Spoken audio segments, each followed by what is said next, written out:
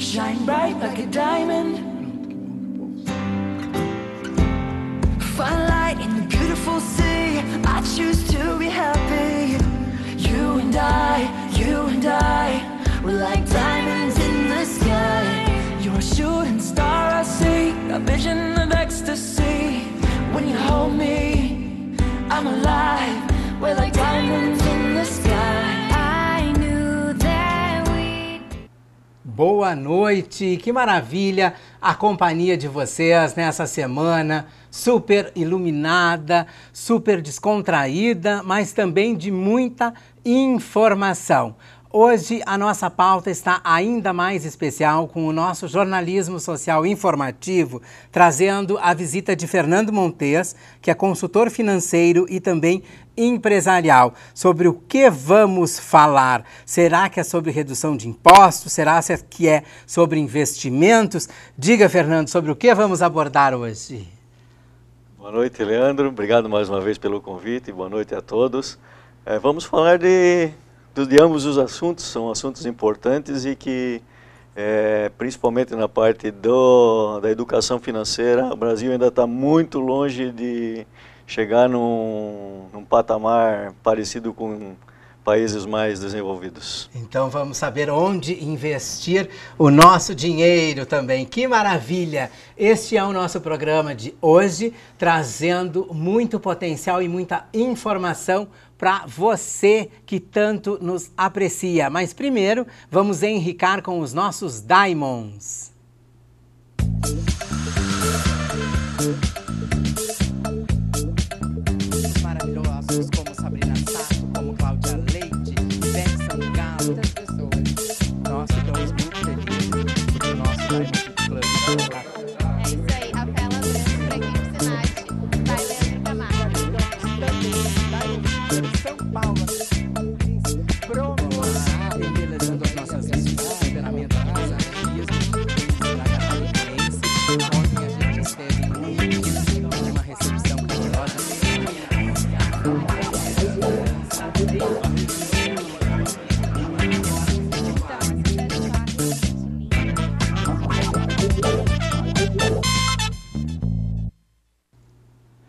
Retornamos com o nosso Diamond especial de hoje, falando sobre redução de impostos, sobre investimentos financeiros, com a presença sempre de muita sapiência e de muito profissionalismo do Fernando Montes, que é consultor financeiro e também empresarial. Fernando, uma pergunta que acredito que vá em sintonia com a nossa pauta. Se a gente conseguir reduzir impostos hoje no nosso Brasil, empregos surgem, se, se, termina com esse auê de funcionário na rua, porque custa muito para manter? Como é que você vê essa temática? Bom, Leandro, é, com certeza. É, eu acho que a, essa reforma agora que está sendo feita da presidência, aí, ela tem que ser aprovada o mais rápido possível. Isso é assim como aconteceu momentos antes da eleição, que se gerou logo depois da eleição um momento de otimismo, é, isso se enfraqueceu um pouco agora com esse momento turbulento que nós estamos vivendo para essa aprovação aí, né? Então eu creio que assim que essa aprovação aconteça, e vai acontecer logo em breve, é, com certeza a parte de investimentos de fora no Brasil, os próprios empresários terão um pouco mais de segurança para fazer toda essa, essa, esses investimentos, né? E a parte dos impostos, é, já se fala em reforma tributária no Brasil há muitos e muitos anos e efetivamente não se fez ainda uma reforma é, digna de ser chamada assim de reforma, né?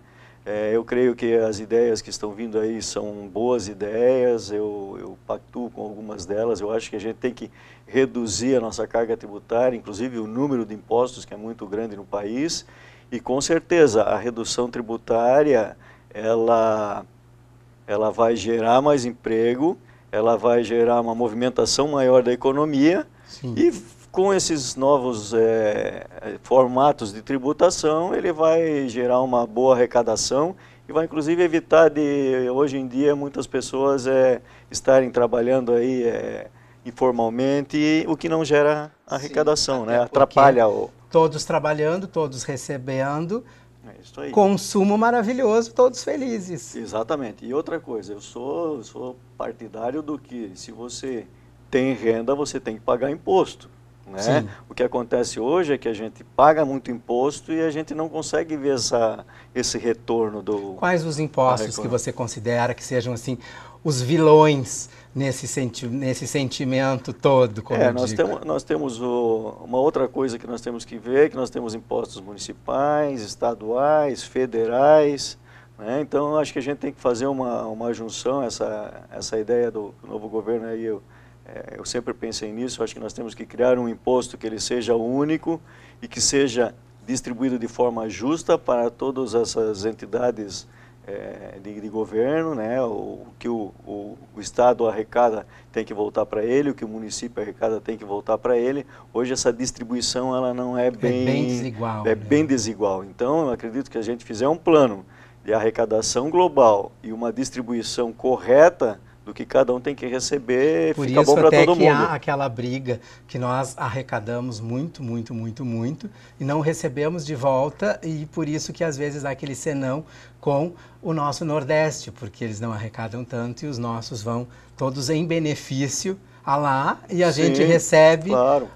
pouquíssimo perto do que mandamos. Isso, é, mas é, tem, é, isso é, isso é uma, uma questão que por isso que tem que se analisar o, o país como um todo, porque, por exemplo, nós temos a questão dos minérios, né? A questão dos minérios, ela está toda lá para cima e pouca coisa desse minério também retorna para lá. Sim. Então isso acaba é, causando um É desequilíbrio. É, fica- então, ficam- exatamente. Então essa distribuição ela tem que ser justa, igualitária e bem pensada. Eu acho que nesse ponto aí a gente está caminhando para alguma coisa que eu penso ser o, Sim. o ideal para Até o país. mesmo né? para a gente fazer essas transações comerciais com outros países, né? Claro, facilita claro. muito mais, até porque hoje a gente sabe que até no nosso consumo a gente adora consumir o que vem de fora e é impossível com os preços, com os impostos e com Claro, tudo mais. claro. Inclusive, os, existem eh, países eh, com intenção de investir no Brasil, mas não existe a, a segurança que o Brasil possa passar para que essas pessoas, esses, esses investidores venham para o nosso país, né? Então ainda há uma, uma crise de credibilidade aí que a gente tem que tentar reverter o mais rápido possível para que esses investimentos venham. Sim. Isso melhora para todo mundo. Né? Então, eu acho que esse é, o, esse é o caminho que a gente tem que tomar. Na chancela. E, e, em contrapartida, trabalhando com isso, eu acho que essa nova legislação de combate ao crime, combate à corrupção principalmente, porque o nosso país é culturalmente ele é corrupto. Isso vem das pessoas, não é porque o cara está lá em Brasília que está roubando milhões.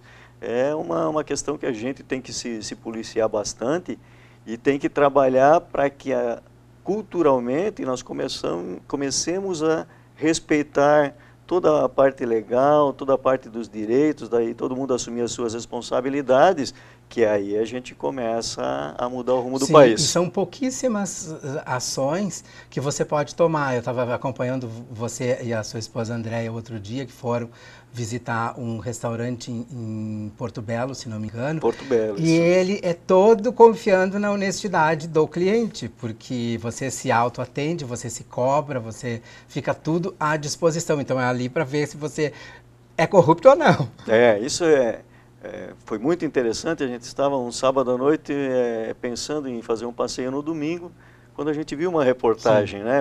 Achei fantástica a atitude, inclusive até tiramos foto lá com o dono do restaurante, conversamos bastante com ele, uma pessoa muito simpática.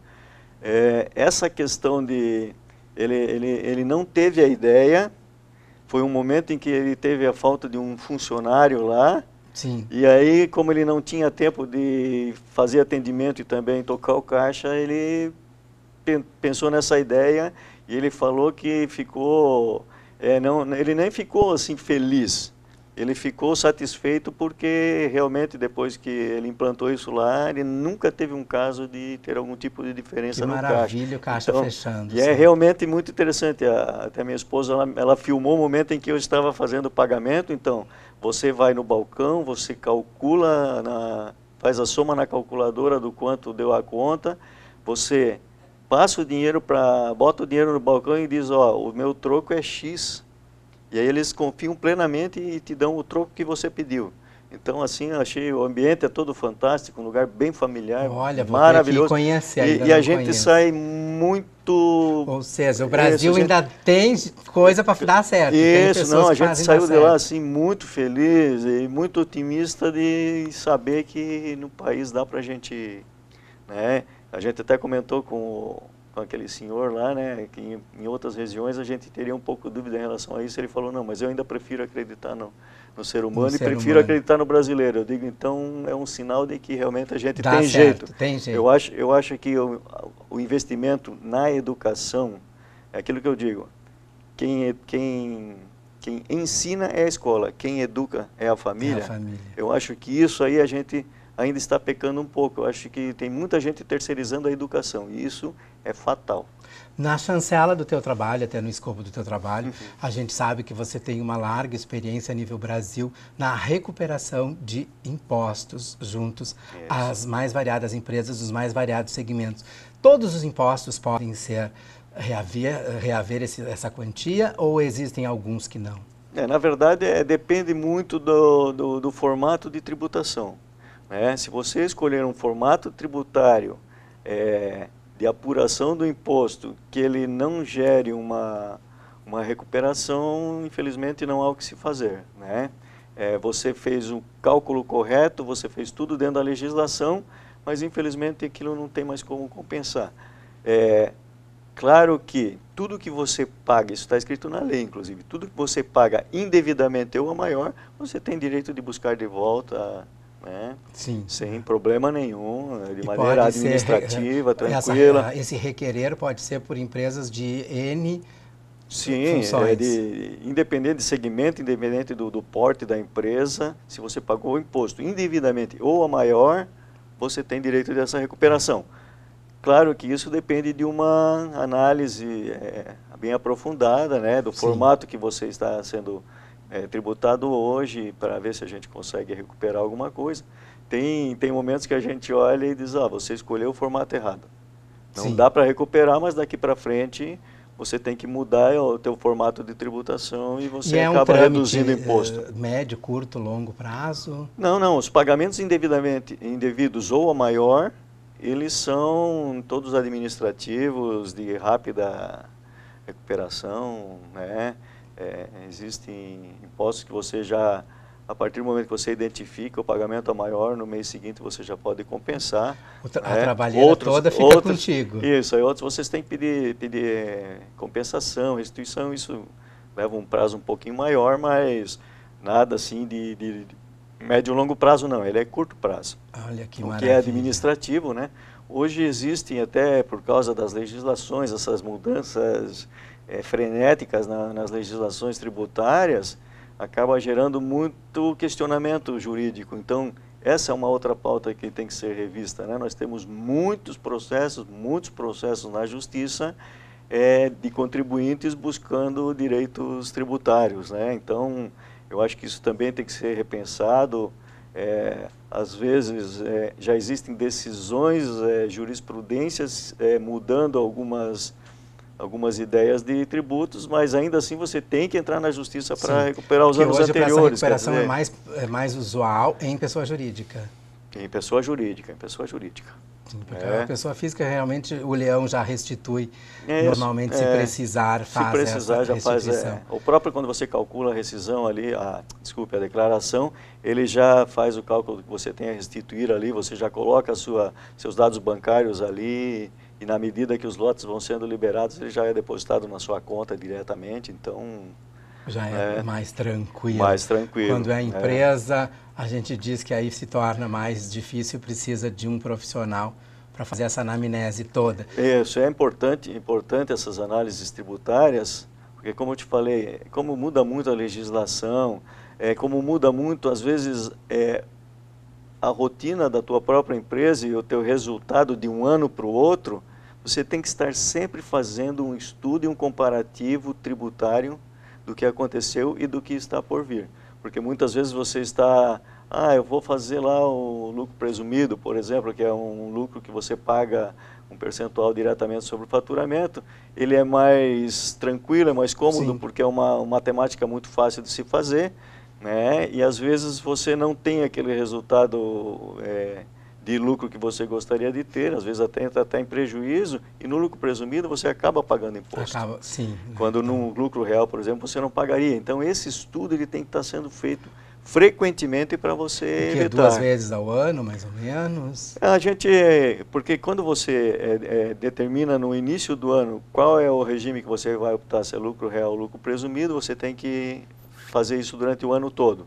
Então, pelo menos uma vez ao ano, mas no final ou no início do ano, você tem que Para fazer esse não estudo. perder dinheiro. Para não perder dinheiro. Que eu digo, esse é um, esse é um caso de que se você acabar pagando é, a maior, você não tem como recuperar, Sim. porque você pagou dentro das regras que você escolheu. Sim. Né? E depois dá um problemão lá na frente se você tentar fazer o famoso jeitinho brasileiro, dar um Isso. enrosco que não Exatamente, vale a pena. é, não, eu, eu sou a, a nossa consultoria ela é muito rigorosa e muito séria nesse aspecto.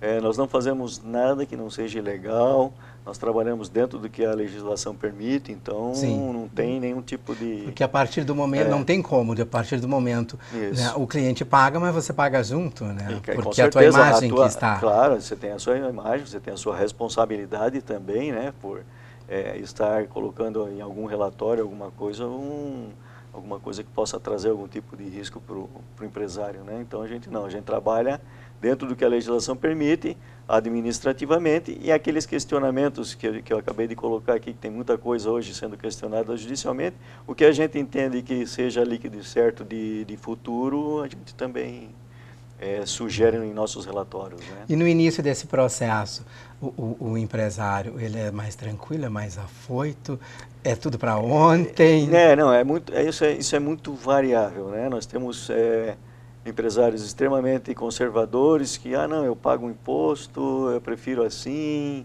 é, não, não, não gosto de mexer, né? Isso a gente até explica, né?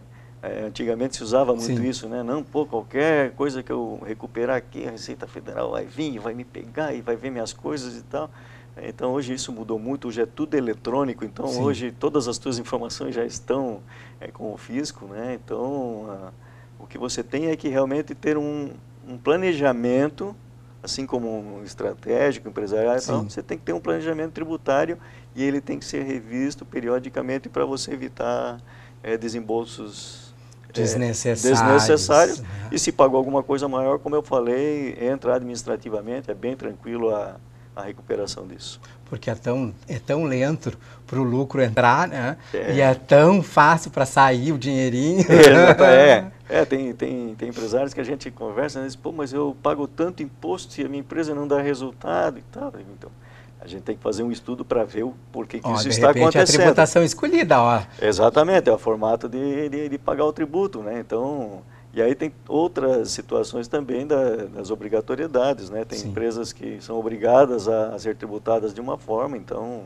também às vezes a pessoa está num segmento que tem que pagar imposto e paciência, E tendo e, lucro ou não, é, né? Faz parte, né? É, mas do- geralmente do quem sistema. é, mas geralmente quem é, vamos dizer, vinculado àquele segmento lá já é empresa que realmente tem histórico de lucro e dificilmente vai ter algum tipo de, de benefício maior, né? Que maravilha que existem trabalhos assim que a gente pode confiar e apostar. Ah, Falando em isso- confiar e apostar, eu tenho visto nos últimos tempos que, que as famosas moedas virtuais, por um período, vi- ficar- viraram um boom, depois ficaram calminhas e agora viraram um boom de novo.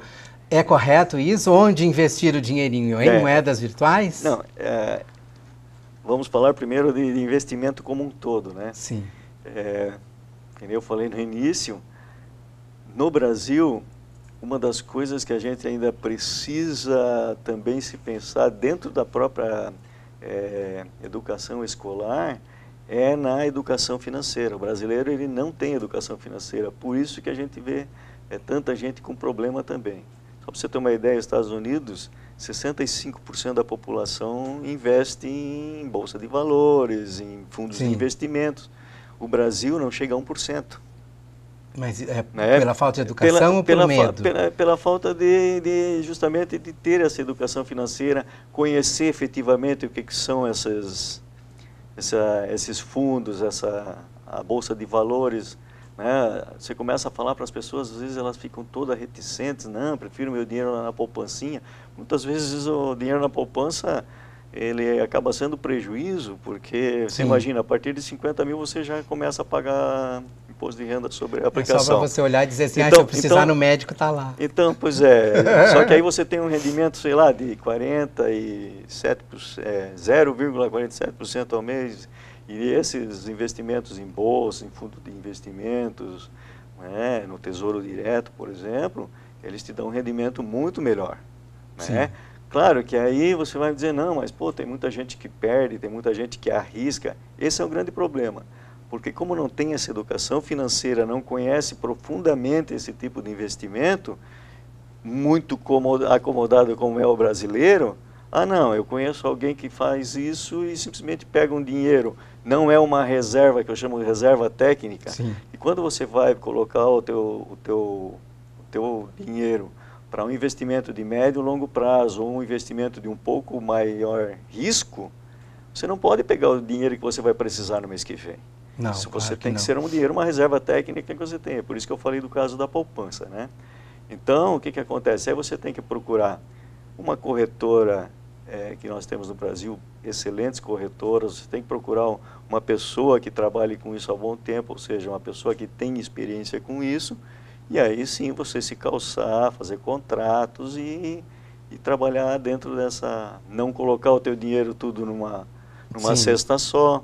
né? Então, são coisas que o brasileiro ainda não está tão habituado a fazer e às vezes gera uma restrição que onde, onde não, não existe. Né? É, hoje em dia o usual é, sobrou um dinheirinho, eu vou pagar uma viagem e me vou.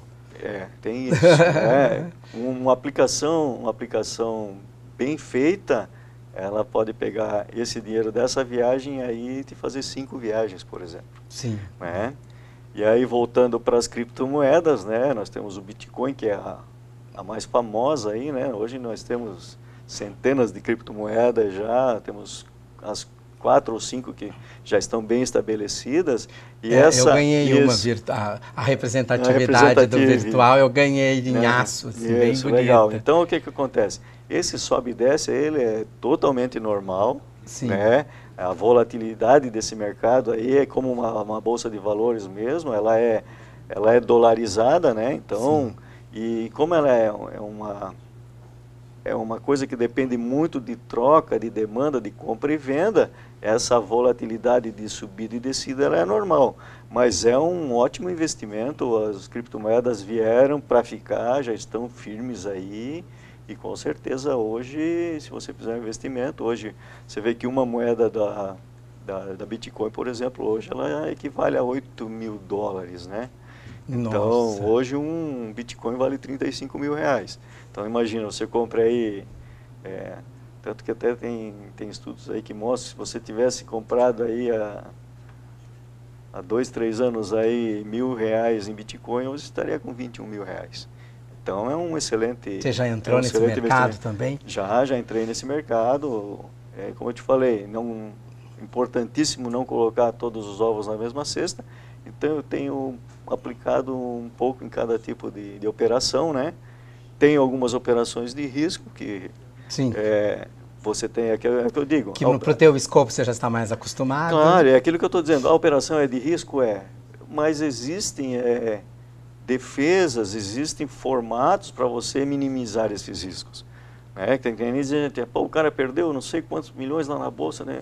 Mas às vezes é aquele cara arrojado que diz, não, eu vou pegar aqui em dois dias eu vou dobrar o meu negócio. Sim. né? Então, sem qualquer tipo de segurança, sem qualquer tipo de às trava de vezes negócio. dobra, às vezes não. É, Exatamente, você tem o, o dia ruim, vamos Uhum, dizer assim, sim. né?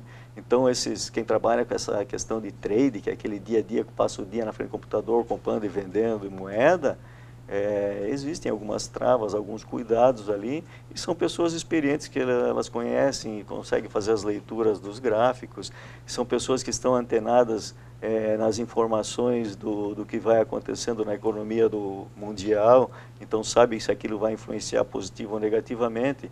Então você tem que procurar pessoas assim para ter um pouco mais de segurança, né?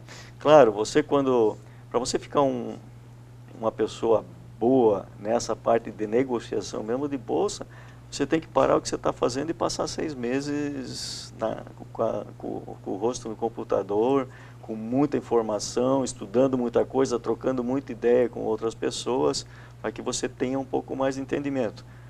É, então, hoje a gente já tem um pouquinho mais de, de aprofundamento, né? Sim. Mas colocamos na mão de profissionais que a gente se sente mais seguro. Mais seguro, Claro. né? enquanto fica com a análise toda do Exatamente. conjunto. E temos que- Joinville e Santa Catarina nesse contexto, como está, Fernando?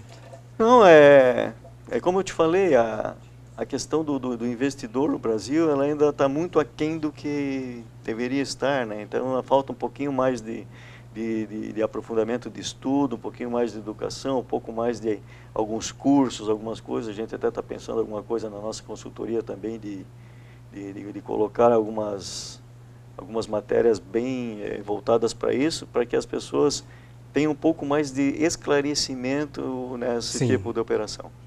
Mas a gente sabe que fala um pouquinho mais a respeito desse trabalho que você desenvolve, que eu sei que vai além desse, desse aconselhamento financeiro e desse quesito tributação. Eu sei que você ãh, permeia a atuação em outras facetas dentro dos empreendimentos. Como se dá isso? É, na verdade, é, a, nossa, a nossa consultoria, assim como um médico, ela começa sempre com aquilo que a gente chama de um diagnóstico. Então, às vezes, a empresa está passando por algum momento difícil. Ah, o problema é financeiro. Ok, mas o que, que gerou esse problema financeiro? Né? Às vezes é um, um, um custo mal gerido, às vezes é uma compra mal, mal realizada, ou seja, a gente tem que tentar primeiro identificar o início desse problema. Sim. né? Então, Fazer um sangrar di- primeiro. Isso, então a gente faz o quê? A gente faz um diagnóstico para entender toda a operação financeira, comercial, administrativa da empresa e com base nisso a gente consegue identificar quais são os pontos mais frágeis e aí monta um plano de ação para E nesse momento você compra a briga com o empresário. Porque jamais ele quer que alguém ponha o dedo na, na fuça dele e diga isso É. está errado. É, isso também, isso também é muito interessante. É aquilo que eu te digo, quando você vai no médico e ele diz que você está com determinado problema, ele vai te dar um remédio para tomar. E às vezes esse remédio ele é amargo, Sim. né? Você toma duas, três doses, já dá aquela melhoradinha. Ou às vezes você já que- quer ir direto para faca, que nem eu, já Isso. quer resolver já direto, e ele diz que Isso. não dá ainda. Isso, né? Ah, não. Quer resolver mais rápido? Há possibilidades. Para isso, aí a gente monta um plano de ação de emergência, que a gente chama, que aí a gente pula a parte do diagnóstico. A gente vai realmente para o dia a dia. Se há necessidade de aporte financeiro, a gente vem com parceiro para poder dar esse suporte. E, mas já começa a identificar os principais problemas para dizer, não, aqui é um problema que a gente tem que resolver rápido. E aí a gente senta no lado dele realmente para resolver a questão da empresa, né?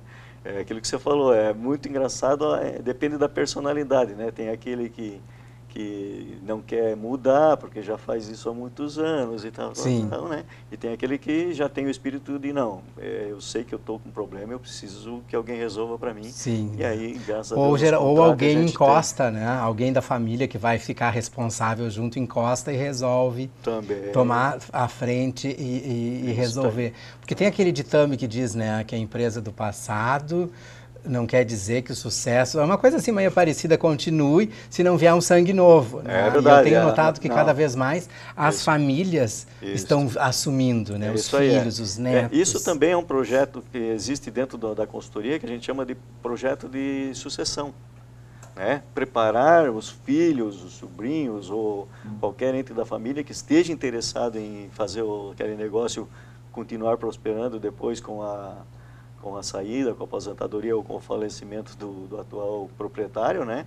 Então, esse é um trabalho de sucessão que a gente faz, que é para preparar a pessoa um executivo para poder tocar o negócio da família. Veja só, e a É. casa tem que estar azeitada, porque numa partida assim, inesperada do líder daquilo, se vai tudo por terra um trabalho, se não É, está inclusive aqui- embasado. inclusive aqui em Joinville nós tivemos casos assim, né?